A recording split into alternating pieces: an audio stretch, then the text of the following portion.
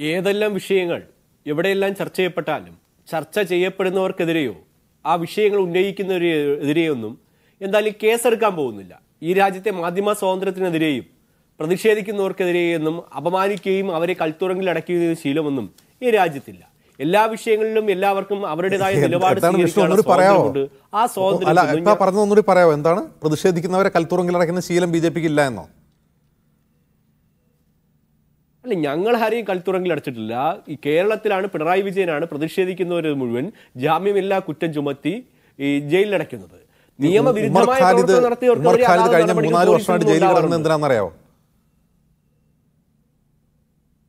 എന്താ കോടതി പോയിട്ട് ജാമ്യം കൊടുക്കാത്തത്? അല്ല ഞാൻ ചോദിക്കാൻ എന്തിനാണ് നിങ്ങൾ ചുമത്തിയിട്ടുള്ള കുറ്റം വേറെയാണ്. യു എ പി ആണ് ചുമത്തിയിട്ടുള്ളത് പ്രതിഷേധിച്ചതിനാണ്. അതെ എന്താ എന്താ എന്താ കോടതി അത് റദ്ദാക്കാത്തതെന്നാ ഞാൻ തിരിച്ചു ചോദിക്കുന്നത്? അല്ല കോടതി ജാമ്യം കൊടുക്കട്ടെ കൊടുക്കാതിരിക്കട്ടെ. ഞങ്ങൾ പ്രതിഷേധിക്കുന്നവരെ തുറുങ്കിലടയ്ക്കുന്നില്ല എന്ന് പറഞ്ഞുകൊണ്ട് ചോദിച്ചതാണ്. അല്ല പ്രതിഷേധം എന്ന് പറഞ്ഞാൽ എന്താണ്? രാജ്യവിരുദ്ധ പ്രവർത്തനം നടത്തുന്നവർക്കെതിരെയാണ് U A P A charge ചെയ്യപ്പെടുന്നത്. അപ്പോൾ അവർ അതല്ല എന്നുണ്ടെങ്കിൽ സ്വാഭാവികമായി കോടതി എന്ത് ചെയ്യണം? അവർക്ക് ജാമ്യം കൊടുക്കണമല്ലോ.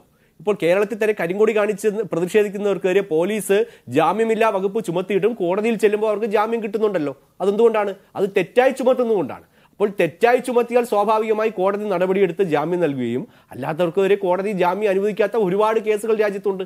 അതിൽ കോടതിക്ക് കാര്യങ്ങൾ ബോധ്യപ്പെട്ടതുകൊണ്ടാണ്.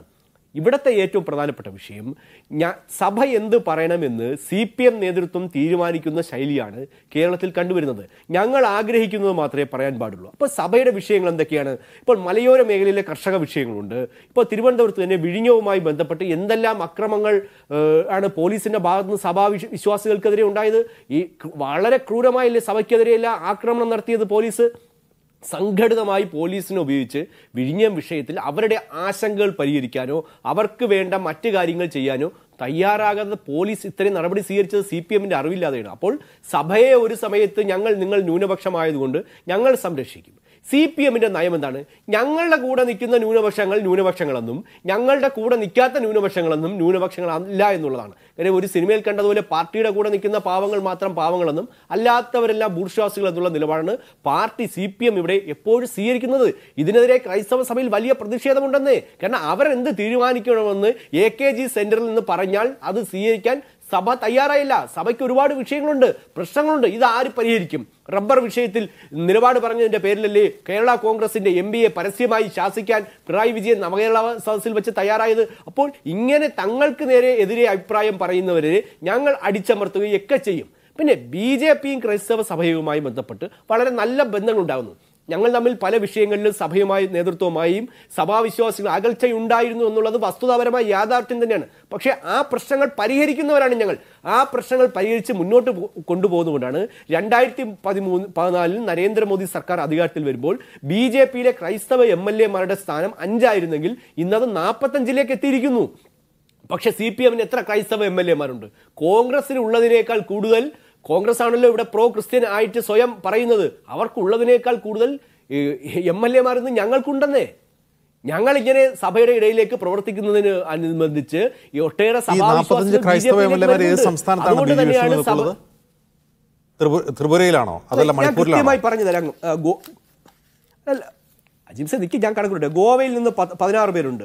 പത്ത് പേരുണ്ട്. മണിപ്പൂരിൽ നിന്ന് പത്ത് പേരുണ്ട്.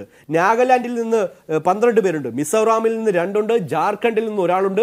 ഗുജറാത്തിൽ നിന്ന് ഒരാളുണ്ട്. ഇങ്ങനെ നാൽപ്പത്തഞ്ച് എം എൽ എമാർ ക്രൈസ്തവ എം എൽ എമാർ ബി ജെ പിക്കുണ്ട്.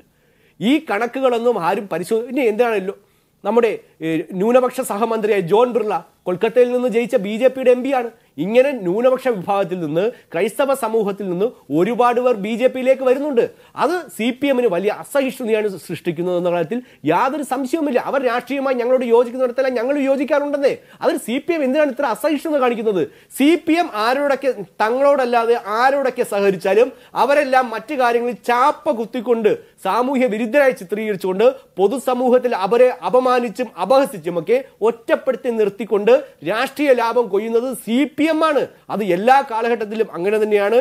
ഇ എം എസിന്റെ സർക്കാർ അധികാരത്തിൽ വന്ന നാളു മുതൽ ഈ കാലഘട്ടം വരെയും സി പി എമ്മിനോട് സഭയോട് ചിറ്റമ്മ നയം തന്നെയാണ് അവർ സ്വീകരിച്ചിട്ടുള്ളത്. എപ്പോഴൊക്കെ അവസരം കിട്ടുമോ അപ്പോഴെല്ലാം സഭയെ അപമാനിക്കാനും അപഹസിക്കാനും ഒക്കെ വേഗത കൂടാറുണ്ട്.